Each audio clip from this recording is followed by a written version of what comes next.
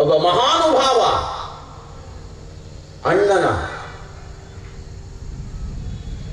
ಇತಿಹಾಸದ ಬಹಳ ಸುಂದರವಾಗಿರುವಂಥ ಸತ್ಕಥೆಯನ್ನ ತಾವೆಲ್ಲ ಶ್ರವಣ ಮಾಡ್ತೀವಿ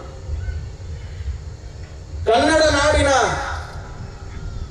ಗದಗ ಜಿಲ್ಲೆಯ ಸನಿಹದಲ್ಲಿರುವಂತ ಒಂದು ಪುಣ್ಯ ಗ್ರಾಮ ಲಕ್ಕುಂಡಿ. ಆ ಗ್ರಾಮದಲ್ಲಿ ಒಂದು ಅಪರೂಪದ ಒಕ್ಕಲುತನದ ಮನೆತನ. ಕೃಷಿ ಕಾಯಕವನ್ನೇ ಬದುಕಿನ ಜೀವ ಜೀವಾಳವಾಗಿ ಮಾಡಿಕೊಂಡು ಸದ್ಭಕ್ತಿಯಿಂದ ಬಾಳುವಂತ ಅಪರೂಪದ ಒಕ್ಕಲುತನದ ಮನೆತನ. ಆ ಮನೆತನದಲ್ಲಿ ಹುಟ್ಟಿರುವಂತ ಅಣ್ಣ ತಂಗಿಯರು. ಅಣ್ಣ ತಂಗಿಯರು. ಈ ಸೃಷ್ಟಿಯಲ್ಲಿ ಎಷ್ಟೋ ಮಕ್ಕಳು ಹುಟ್ಟುತ್ತಾವೆ. ಆದರೆ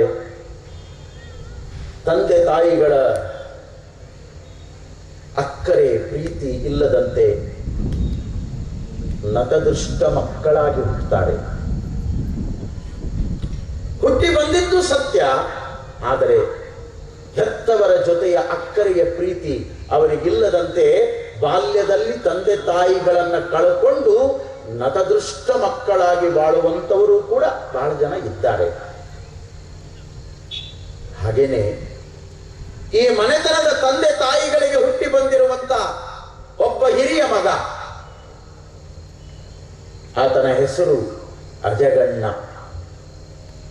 ಅಜಗಣ್ಣ. ಅಜಗಣ್ಣನ ತಂಗಿ ಮುಕ್ತಾಯಿ.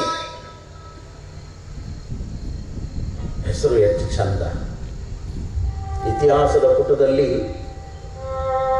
ಇಂಥ ಹೆಸರುಗಳನ್ನು ಮತ್ತೆಲ್ಲಿಯೂ ಕೂಡ ನಾವು ಕಾಣಲಿಕ್ಕೆ ಸಾಧ್ಯವೇ ಇಲ್ಲ. ಅಜಗಣ್ಣ. ಮುಕ್ತಾಯಕ್ಕ. ಮುಕ್ತಾಯ. ಅಜ. ಗಜ.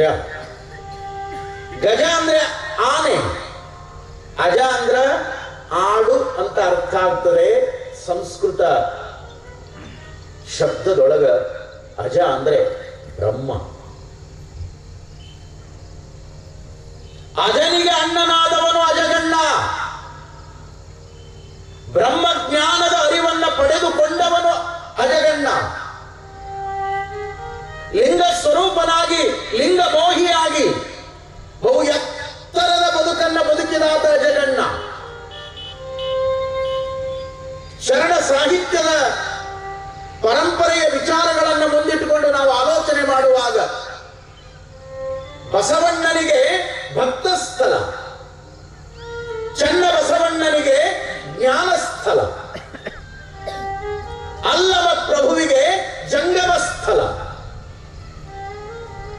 ಅಜಗಣ್ಣನಿಗೆ ಐಕ್ಯ ಸ್ಥಳ ಅಂತ ಹೇಳ್ತಾನೆ ಐಕ್ಯ ಸ್ಥಳ ಆ ತುರ್ಯಾತೀತಾವಸ್ಥೆಯ ಸಮಾಧಿಯ ಸ್ಥಳದೊಳಗ ಮೆಲ್ಲ ಮೆಲ್ಲನೆ ಭಕ್ತನಾಗಿ ಮೆಲ್ಲ ಮೆಲ್ಲನೆ ಮಹೇಶನಾಗಿ ಮೆಲ್ಲ ಮೆಲ್ಲನೆ ಪ್ರಾಣಲಿಂಗಿಯಾಗಿ ಮೆಲ್ಲ ಮೆಲ್ಲನೆ ಶರಣನಾಗಿ ಮೆಲ್ಲ ಮೆಲ್ಲನೆ ಪ್ರಸಾದಿಯಾಗಿ ಮೆಲ್ಲ ಮೆಲ್ಲನೆ ಐಕ್ಯನಾಗುವಂತ ಅದೊಂದು ಅದ್ಭುತವಾಗಿರುವಂತ ಮಾರ್ಗ.